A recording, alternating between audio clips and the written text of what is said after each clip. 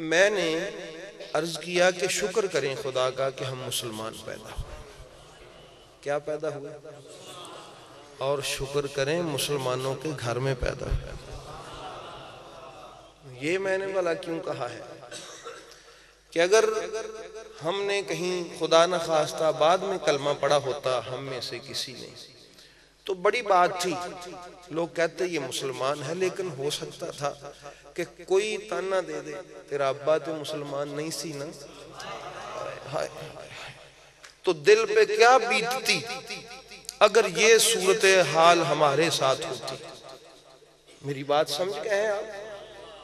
شکر کریں خدا تعالیٰ کا کہ آپ کے ابا جی بھی مسلمان آپ کے اماں جی بھی مسلمان آپ کے دادا جی بھی مسلمان آپ کے پردادا جی بھی مسلمان اگر ایسا نہ ہوتا تو ذرا عالم تصورات میں جائیں کہ محفل لگی ہوئی ہو۔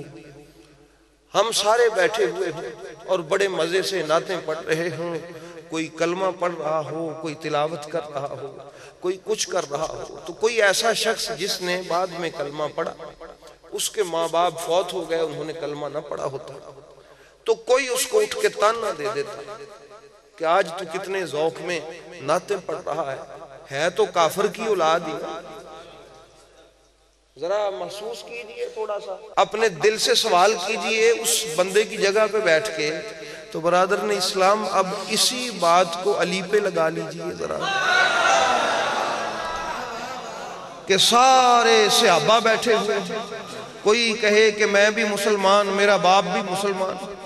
فلاں صحابی بھی مسلمان، اس کا باپ بھی مسلمان۔ ٹھیک ہے علی، تیری بڑی فضیلتیں ہیں، تیرا باپ تو مسلمان نہیں۔ اندازہ کریں ذرا، علی کے دل پہ کیا گزرتی ہوگی؟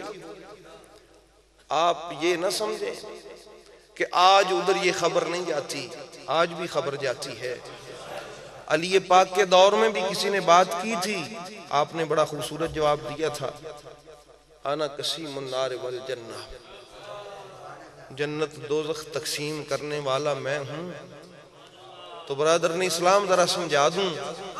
گویا کہ وہ سمجھا یہ رہے تھے، میرے ابے دی نہیں، اپنے ابے دی فکر کر۔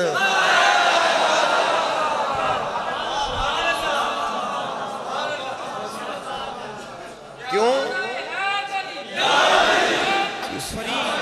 کسی کا بھی باپ تب جنت میں جائے گا اگر علی چاہے گا۔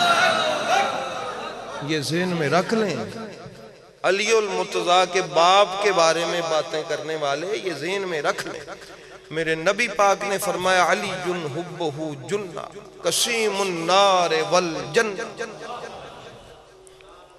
علی جنت و دوزخ کا تقسیم کرنے والا ہے۔